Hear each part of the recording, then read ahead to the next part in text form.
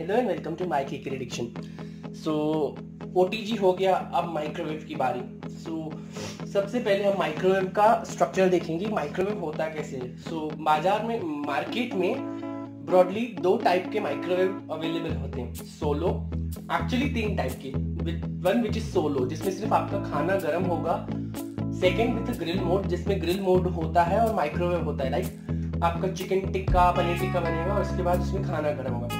Third जिसको all in one oven बोलते हैं या कन्वेक्शन अवन बोलते हैं जिसमें कन्वेक्शन अवन जिसमें कन्वेक्शन मोड होता है और उसमें केक्स आपके बेक होते हैं परफेक्टली सो स्ट्रक्चर देखते हैं इसका कैसे होता है. सो so, हर एक माइक्रोवेव का तीन आप भले सोलो लो ग्रिल लो या कन्वेक्शन अवन लो. तीनों माइक्रोवेव ओवन का स्ट्रक्चर एकदम सेम होता है. एक ग्लास ट्रे होता है बल्ब होता है और कन्वेक्शन ओवन को पहचानने का सबसे पहला तरीका देखो, यहाँ पे आपको दिखेगा एक रॉड तो ये है कन्वेक्शन ओवन को पहचानने का पहला तरीका। सेकंड उसमें आपको कन्वेक्शन बटन दिखेगा, जो मैं आपको पैनल पे हम जब जाएँगे तब दिखाऊँगा। अगर आप होम बेकर हो, या आपको कन्वेक्शन ओवन लेना है बेकिंग के लिए always go for 20 litres plus capacity 20 litres का अबव होना चाहिए, और ऐसा कोई हार्ड एंड फास्ट रूल नहीं कि ओटीजी में केक्स बनते हैं कन्वेक्शन में नहीं बनते हैं। मानता हूँ दो तीन बार केक खराब होता है, लेकिन थर्ड टाइम में आपको फोर्थ टाइम में जो रिज़ल्ट मिलेगा, आपको कभी कुकर को हाथ नहीं लगाना पड़ेगा। सो बेसिकली कन्वेक्शन ओवन को तीन पार्ट्स में डिवाइड किया जाता है। माइक्रोवेव जो वेव्स आती हैं, उसमें से खाना गर्म होता है या खाना कुक होता है। सेकेंड ग्रिलिंग जिस, ये देखिए, यहाँ पे ग्रिल के ऊपर इस थोड़े थोड़े वेंट्स हैं, जिसमें से वो बहुत हीट छोड़ता है जिससे आपका ग्रिल होता है। थर्ड कन्वेक्शन तो मैंने आपको बता दिया जिससे आपकी केक बेक होते हैं। सो so, अभी हम इसके इसको हम तीन पार्ट में वीडियो को डिवाइड कर रहे हैं। फ़र्स्ट हमने देख लिया इसका स्ट्रक्चर सेकंड इसका हम पैनल देखेंगे थर्ड हम देखेंगे कौन से बर्तन जाते हैं इसमें। बर्तन को लेके बहुत सारी मिथ है सो so, चलो अभी हम फ़िलहाल इसका पैनल देखते हैं। सो so, पैनल को डिवाइड किया गया है तीन पार्ट्स में। First timing section second auto cook menus third normal menus आपको इसको भूल जाना है स्टार्टिंग में और इवन इसको भी भूल जाना है। आपको सिर्फ़ ये दो लेवल्स और ये काम में आएगा। मैं इसलिए बोल रहा हूँ क्योंकि ऑटो कुक मेन्यूज थोड़े ट्रिकी होते हैं और यहाँ पे ये जो है इसको थोड़ा समझने में आपको टाइम जाएगा।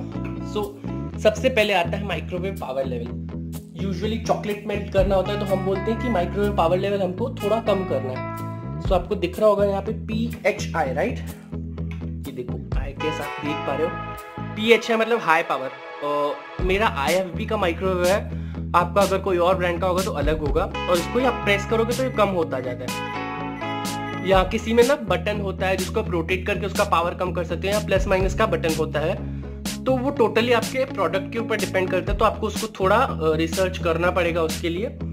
सो ये इस तरीके से कम ज़्यादा होता है, ठीक है? ये ज़ीरो हो गया तो इसमें कुछ हीटिंग नहीं होगा, और ये वापस से हाई हो गया, ठीक है? इतना समझ गया, और उसके बाद है यहाँ पे ग्रिल बटन अभी ग्रिलिंग के लिए माइक्रोवेव हो या ओटीजी हो, आपको प्री हीट करने की कोई ज़रूरत नहीं है उसको। ग्रिल प्रेस किया, इसको आपको पहले सब हटा देना है। अभी ग्रिल प्रेस किया तो आपको सीधा टाइमर देने का ऑप्शन आ जाएगा यहाँ पे देखो। ठीक है कन्वेक्शन आपको जब भी केक बनाना है केक बनाना है तो कन्वेक्शन मोड को प्रेस करना ज़रूरी है। सो कन्वेक्शन मोड को प्रेस करोगे तो इसका डिफ़ॉल्ट टेम्परेचर 110 आता है किसी में 180 आता है एलजी में 180 का आता है। सो so, ये देखो ये इस तरीके से प्रेस करते बढ़ता है और LG अगर आपका है या और कोई ब्रांड है तो प्लस माइनस का बटन ठीक है? सो ग्रिलिंग के लिए अब बात करेंगे हम। जब भी उस पर यूटेंसिल्स पे आएँगे तो ग्रिल बताऊँगा कैसे करना है। कन्वेक्शन ओवन को प्री हीट कैसा करना है? सबसे बड़ा क्वेश्चन कन्वेक्शन बटन प्रेस किया। आपको कन्वेक्शन ओवन में जब भी केक्स बनाना है, आपको 160 ही रखना टेम्परेचर 180 पे मत जाना। अगर आपको 160 में टाइम लग रहा है, उसके बाद ही 170 180 करना। तब तक 180 पे मत जाना, क्योंकि 180 पे केक्स जलते हैं। 160 यहाँ पे प्रेस किया और इसको स्टार्ट कर दो। आप बोलोगे, अब तीस मिनट का टाइमर आ गया यार, तीस मिनट थोड़ी ना प्री हीट होगा ओवन बट आप अभी इसको प्री हीट होने दो। जैसे ये प्री हीट होगा, ये बीत देगा और ये within five minutes preheat हो जाएगा। देखा आपने मैंने इसको प्री हीट कैसे किया? कन्वेक्शन ओवन कन्वेक्शन बटन को प्रेस करके मैंने इसको स्टार्ट किया। डिज़ायर टेम्परेचर दिया और स्टार्ट किया। मैंने इसको कन्वेक्शन प्रेस करके 10 मिनट्स या 5 मिनट्स का टाइम मैन्युअली नहीं दिया। यूजुअली हम क्या करते हैं, इसको प्रेस करते हैं टेन मिनट्स का टाइम देते हैं और तब तक वो ओवन बहुत ज़्यादा गर्म हो जाता है, जो 10 मिनट का टाइम देके करते हैं। मैंने बहुत सारे वीडियोस में देखा है तो ये गलती मत करना, सीधा स्टार्ट प्रेस करो, ठीक है? अभी बेकिंग के टाइम पे आप बोलते हो कि अमित, हम रैक कौन सा रखें? मैं सजेस्ट करूँगा रैक मत रखो फ़िलहाल, आप डायरेक्टली ग्लास प्लेट पे रखो। अब जब ये प्री हीट हो जाएगा ना, मैं आपको तभी उसका एक स्नैपशॉट दिखाता हूँ कि कैसे प्री हीट होने के बाद ये साउंड देता है। सी अब ये गर्म हो रहा है, इसमें 26 मिनट्स मतलब अराउंड फोर मिनट्स खत्म होने वाले हैं। मुझे आपको ये एक चीज़ बताना बताना था कि इनकेस आप भूल जाओ कि देखो, इसने बीप भी दे दिया मतलब ये अब प्री हीट हो चुका है।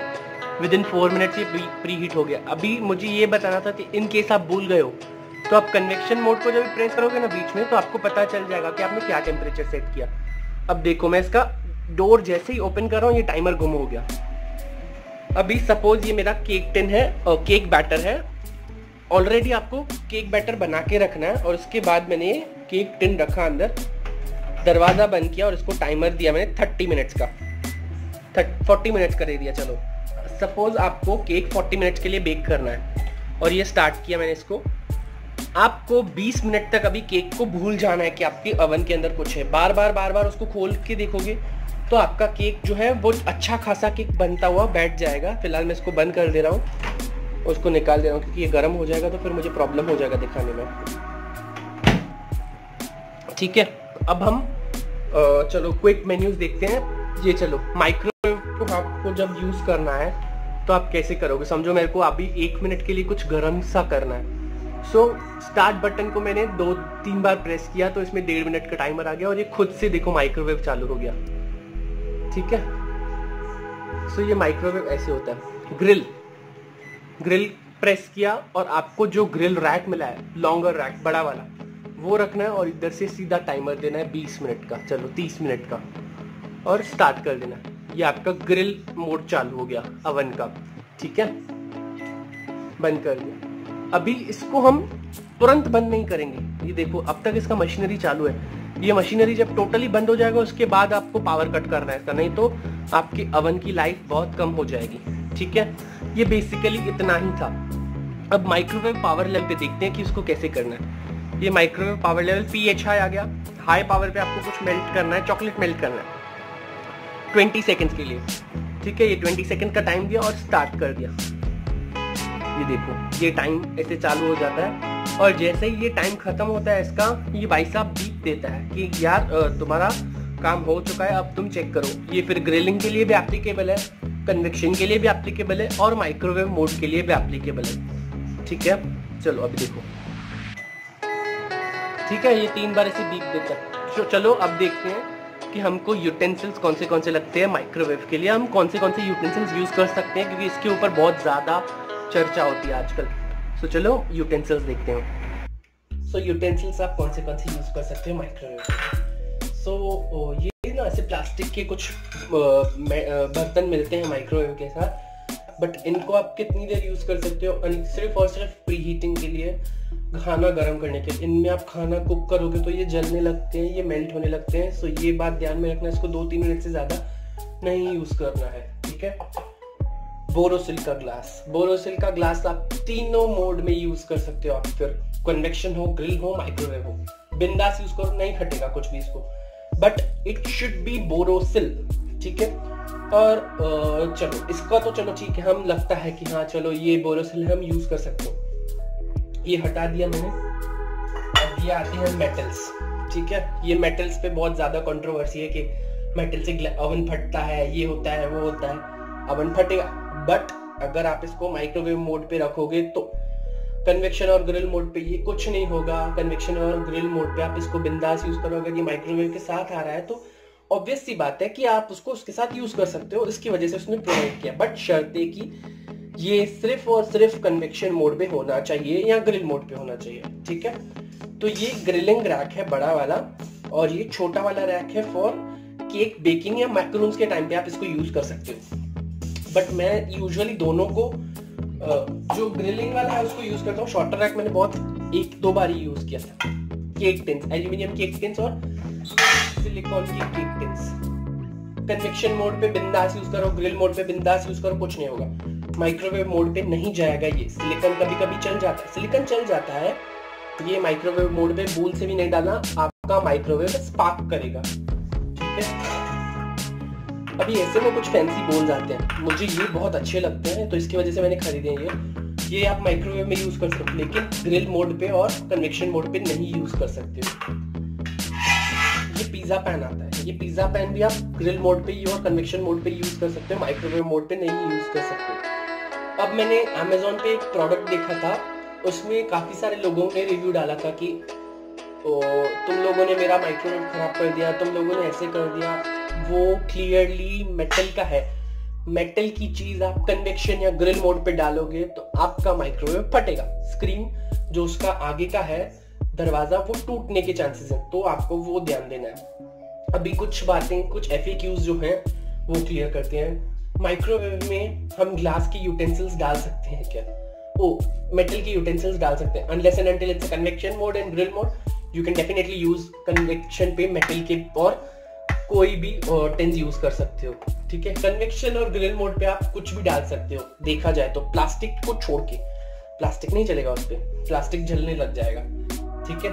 सेकेंड थिंग टेम्परेचर बहुत सारे अवंस का टेम्परेचर uh, 180 से नीचे में ही होता है तो 160 पे मैं आपको सजेस्ट करूँगा। सबसे पहले 160 पे ही बेक करो क्योंकि आपका माइक्रोवेव चारों साइड से हीट छोड़ता है। ऑलवेज यूज़ 160 डिग्रीज अगर आपको लगे कि हाँ उसमें टाइम ज़्यादा लग रहा है तो इंक्रीज बाय 170 180 ऐसे करोगे तो धीरे धीरे आपको हैबिट पड़ जाएगा उसका। थर्ड थिंग अब बहुत सारे लोग बोलते हैं कि आ, मेरे को माइक्रोवेव तो है लेकिन मेरे को डर लगता है कि मैं उसमें केक बना पाऊँगा या बना पाऊँगी कि नहीं। बिंदास यूज़ करो एक दो बार खराब होगा तीसरी बार में आपका केक बहुत अच्छा बनेगा ट्रस्ट में आप भूल जाओगे।